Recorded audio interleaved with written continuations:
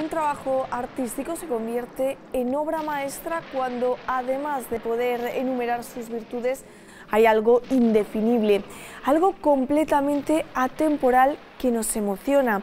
Y estoy prácticamente convencida de que la mayoría de ustedes tienen catalogada o van a catalogar la película que vamos a ver hoy en esta categoría.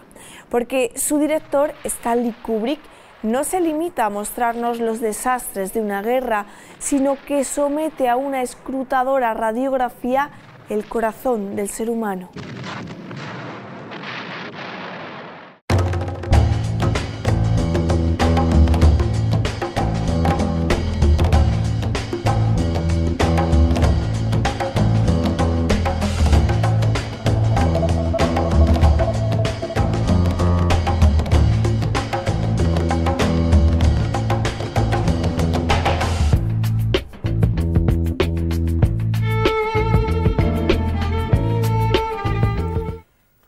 No creo que a los colaboradores que nos acompañan hoy no les guste esta película y se amotinen. Aunque si así es, yo desde luego no les voy a, no voy a convocar a un consejo de guerra. Antonio Lázaro, escritor. Hola. ¿No estás dispuesto tú a pasar por un consejo de guerra? Y menos porque no te gusta esta película. Si porque me juzgas tú, sí. Bueno, Y si eres la única componente del pelotón de fusilamiento. no digo más. Ahí, ahí lo dejo. Porque sean, que sean tus últimas palabras, Antonio. Mi última aquí. voluntad. Tu última voluntad. Vale. No te fíes. En fin. David Parajes, guionista y editor. Poco se puede añadir ya, lo he dicho. Madre mía, ¿cómo estamos hoy? Sí, Santiago de Lucas, director, escritor. El auténtico, realizador. el auténtico y Se genuino. moa, se moa. Y recién salido de las trincheras, como pueden ver por la barba. Sí, pero un poco hipster porque me la he, ¿eh? Sí, me la bueno. he, eh, Recortado. recortado, que no me sale la palabra. Bueno, ¿Cómo cualquiera diría hoy? que vamos a ver una comedia, ¿eh?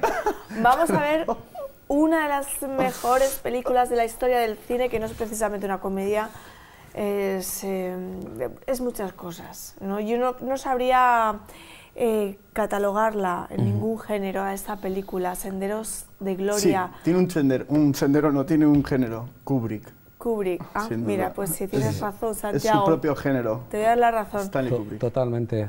¿Por qué no nos podemos perder nadie, absolutamente nadie, esta película, Yo, Antonio? yo la recomendaría con una frase de, de otro gran director, Jean-Luc Godard, que, se- que decía que el cine para él, creo que era copiando o, o- o parafraseando a Samuel Fuller, emociona 24 imágenes por segundo. Ya, Y otro director, Steven Spielberg, que decía que el cine es Kubrick. Pues, amén. contundente. Yo pienso que la forma en la que estamos presentando hoy ya, vamos, es de pocas palabras, porque la película bueno, dirá el vamos, resto. vamos a dejar a David Parajes, por si se quiere pronunciar, David. Bueno, ya lo estáis diciendo vosotros, es que yo creo que es de los directores que más vocaciones de cineasta han despertado, ¿no? Eh, la carrera de Kubrick no es de las más extensas, pero sí es verdad que es de las más intensas. Tiene, mm, mm, las películas, mm, cada una tienen su personalidad diferente, tienen su propio género.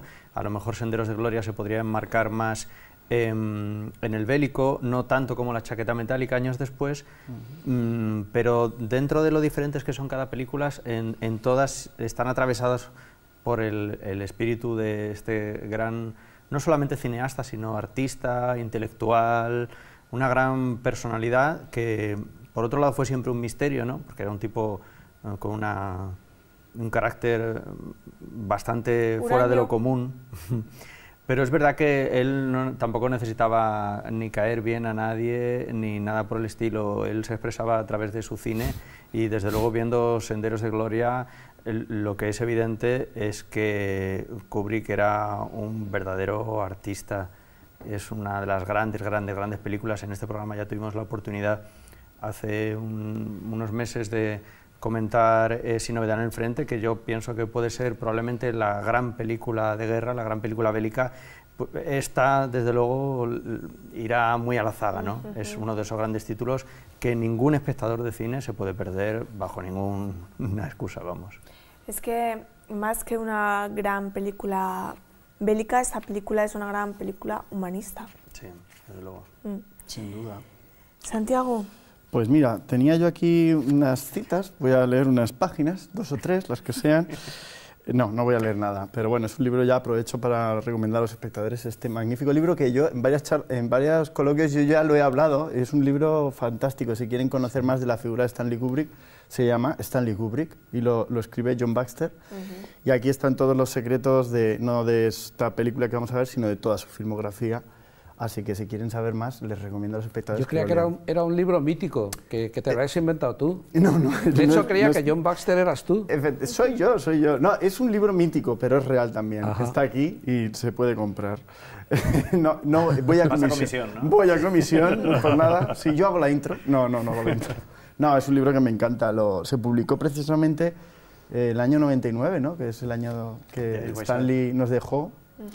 Y, y qué curioso, ¿no? Porque debía estar ya preparado el libro, parece como que las piezas se encajaron y el otro dijo, y ahora voy y me voy, para que este libro pues mm, hable de mí lo que yo no me atrevo a decir. Y la verdad es que, bueno, de esta película solo decir que, mm, por resumir lo que ya has dicho tú, pues una auténtica obra maestra, pero quien piense que va a haber una película de guerra o es una película bélica, está equivocado. Es una película, como bien has dicho, humanista. Habla de, del radio, es una radiografía del alma humana en una circunstancia tan absurda como es la guerra y donde podemos ver lo peor o también aquí no, lo mejor no llega a aflorar, pero hay un intento de que aflore. Sí, siempre hay esperanza. Una ¿no? radiografía del poder.